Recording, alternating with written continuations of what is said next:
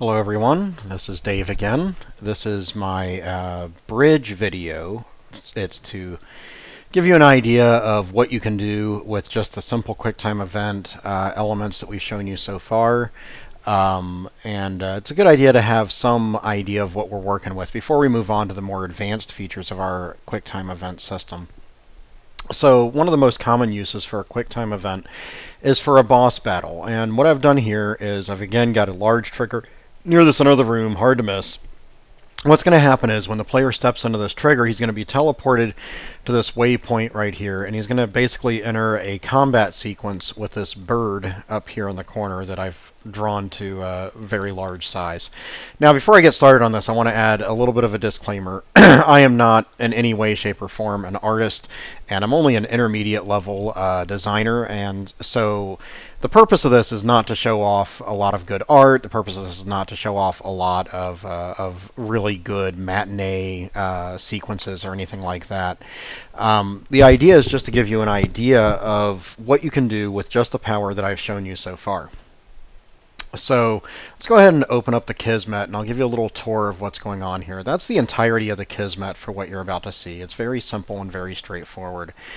Uh, right here, when I step into the trigger, uh, all that I'm doing is storing the player in this named variable because I'm going to be using it all over the place. So I just put it in named variable rather than drawing lines uh, to it from all over the place. And I use that same player to schedule an event. It's going to be uh, 11 seconds. It's a rather long little uh, intro uh, QuickTime event. The last two seconds will be the success time. You'll be expected to press the up arrow key. Um, if you're it'll prompt you with the with the red arrow. It'll reward you with the gold arrow. It'll be drawn 64 by 64. If you don't know what I'm what I just talked about there, that's because you missed the first two videos on uh, simple QuickTime events. You need to go back and watch those before you try to watch this because it's going to be rather confusing otherwise. This is just a simple uh, Kismet sequence to create a third-person camera, uh, which is something that we want for our fighting game, and so I just put it in there. And this is just a little death sequence. Uh, it's a remote sequence, so uh, when I when I say I want the player to die, I'll just modify the health by like negative five, no, eight thousand. Well, yeah, it'll definitely kill it. And I stop uh, my matinee. That remote event you can see down here. There's a remote event for stopping the matinee and a remote event for starting the matinee. That's just to keep my stuff nice and clean.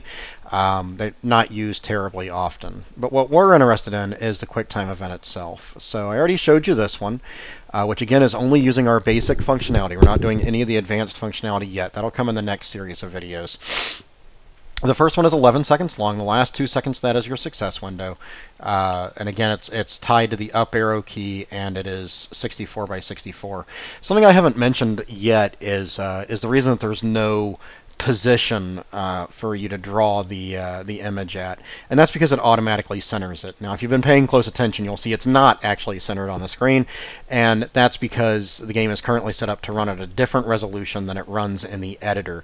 Um, and I haven't been able to fi find a good way to actually detect resolution at runtime. I've been looking at blogs and stuff and haven't found a good way. If you know a good way, please post it uh, so I can detect the uh, the resolution and then actually work on centering all this stuff. But when I play it outside of the editor, uh, it works just fine. Everything is perfectly centered, and that's good enough for me for now. Okay, so the name of this guy was uh, Part 1, so that skips me down here to Part 1 scheduled event. Um, on start, I'm just going to toggle the QuickTime event state on. Again, that allows me to use QuickTime event style input, uh, so it remaps the keys. It also teleports me to a location um, to this particular, well, to this particular path node right here. Um, and that's because that's where the camera expects me to be in order to include me in the in the uh, cinematic that's about to happen. And I start the matinee. The matinee, uh, I don't want to get into this in too much detail um, because it's not a particularly good matinee. Uh, but all that it does is it moves the birds around, uh, the bird around. You can see that uh, that I added a lot of keyframes trying to get it to have some nice smooth movement. Uh, it was relatively successful, but it's not certainly not great. Um, and I animate the bird so he flaps his wings and then glides, and then flaps his wing and then glides, etc. And I move the camera around uh, in order to keep the bird and the player in view as much as possible, and to add dramatic effect. So. Anyway, at the beginning of the first cutscene, I turn on my QTE state, I teleport to the right location, and I start the matinee. I don't need to do anything in the general end case, uh, and that's because I'm doing separate things in the success case and in the failure case. Uh, I'm not using window open on any of these uh, QuickTime events, um, but there is a lot that you could do on window open. I'm just not using them right here. So, should I succeed in this QuickTime event, and that means uh, pressing the up arrow during the last two seconds of the 11 second sequence, um, I'm just going to output to the screen, first event succeeded. That's really just a debug. I should probably go ahead and take that out now because it'll be obvious whether or not I've passed it. And then I'm going to schedule the second event. Should I fail, I'm going to call the player death uh, remote event, which is what I showed you over here. Um, and you're going to see this quite a bit because this is uh, this is what I do on any of the QuickTime events when I die is I just kill him. So you're going to see that call a few more times. So, what is this uh, second event like? Well, it's called Part 2, and so that'll send us down to this event right here, but it's called Part 2, uh, no delay, 5 seconds with a 2 second window, so we're not making it any harder. Um, there, you're supposed to press the down arrow for this particular one, and I've tied that to the red arrow prompt and the gold arrow success. Again, 64 by 64. I don't think in a QuickTime event you really want to be changing the size of that. I think you want to stick with one size, and so that's what I did. And should I fail, I die. Once again, there is uh, there's nothing to, nothing needs to be done with end or with window open, and this is actually the most complicated of the four QuickTime events. So let's take a look at part two now, which again is five seconds long with a two second success window. Here, I don't have to do anything on start because I've i am already in QTE state. I've already been teleported to the right location, and the matinee is already running. So there's nothing to do on start. There's nothing to do in the general end. There's nothing to do in window open. All I have to do is, should I succeed with this second event, um, I'll output to the screen, second event succeeded, which again I probably shouldn't be doing. I could just take that out. and I will call part 3. You can see that's called part 3 right there. Should I fail with the QuickTime event, I will uh, call player death, which I showed you just a second ago. So let's take a look at part 3. Part 3 is 8 seconds long with a 2 second window. The success key is left. The prompt uh, material is the red left arrow. The success uh, material is the left gold arrow. And again, it's 64 by 64. No big deal. All right. So this is an 8 second long as opposed to the 11 seconds and the 5 seconds. Um, and the reason for these different times, as you'll see, is different parts of the sequence are longer than other parts of the sequence uh, within Matinee. And so those are tied to those. Okay, so uh, what happens on three? Well, the, what happens on three is exactly is actually very similar to what happened in two. Instead of saying second event succeeded, I'll say third event succeeded. Instead of launching part three, I will launch part four. No big surprise there. And should I fail, I die. So this is extremely similar. The timing just happens to be uh, seven seconds again with a two-second window. That lowering that window makes it harder. Uh, if I were doing difficulty levels, I'd probably make those variable inputs. Now, uh, the success key for part four is actually the right key. Um, and again, it uses the right, the red right arrow and the gold right arrow. And again, it's 64 by 64. Uh, the fourth and final part of the cutscene is a little bit different.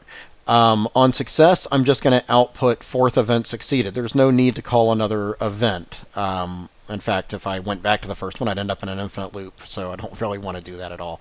Uh, should I fail, I'm still just going to die, but regardless of whether I succeeded or failed, when it's over, so from end, I'm just going to turn off the uh, the toggle QTE state, which is going to allow my player to move around again. Now you'll notice that in this particular demo, I completely failed to tie the camera back to where it was originally, um, and so it's not going to look good when I walk around, but at least I'll be able to walk around, and uh, of course you can imagine just put tying that camera back to where it goes. So let's take a look at our demo here. And uh, just remember again that this is not meant to be an overly dramatic, uh, good cinematic. This is just a demo to show you that the uh, that the Kismet works. You can see I'm in third person now. That's because that little bit of Kismet code that I put towards the top. Um, it's not meant to actually work with aiming and stuff like that. Although I could have done that, that just wasn't my uh, wasn't my focus. So I'm going to step into the trigger, and what you're going to see is the uh, the bird is going to approach I'm going to spin the camera around here. This is all in the in the matinee. There's my prompt. And I did succeed. I'm going to go ahead and fail the second one. And you can see it kills me. Okay? I know, exciting stuff. Now I could have just uh, I could have killed myself and then respawned myself and gone back uh, to the first one. So I could have just gone straight back up here to the schedule event and I could have done it again.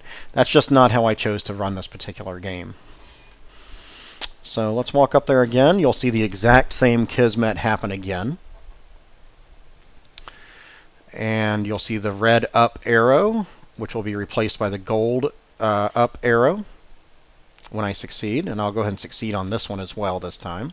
I did not animate the player. Obviously, I could have done that as well, but that just wasn't necessary for the demo. Bird flies around to a different angle and attacks me again. And his fourth and final attack, his sort of ultimate attack that ends up killing him. There you go. Dead bird. And uh, that's a really basic QuickTime event, but it's pretty representative of what QuickTime events do in general. Um, let's see, is there anything else I should show you here? Let's go ahead and, uh, since I have a few more minutes in this video, let's change all of these two second windows to one second windows. And you'll see that that will add a significant amount of, of, uh, of difficulty. So this could be used for more advanced players or just to make a more difficult sequence generally the shorter the sequence is, um, the more difficult you want to make it. But there you go. That gives you an idea. And uh, he flies around again, and that timing is a little bit off, but that's just a design issue. It's no big deal. And I'll hit the right arrow here to live, and the bird dies again. So that's what it looks like with one second success windows. Oh, yeah, and QuickTime event mode is off. And like I said, I completely forgot to tie that camera back to the back to the player's ankle. Um, so that's why everything looks so funky there. Now my camera's completely off screen, there you go. Thank you for watching this video. Um, if you've watched the first two uh, parts of the simple QuickTime event, I highly recommend that from here you watch the advanced QuickTime event videos, uh, which will show you how to use some of these uh, some of these inputs that we haven't used yet. Instead of just having one thing in the list, we'll put multiple things in the list, and uh, we'll also use XGAP, randomize, and sequence size. Thank you very much.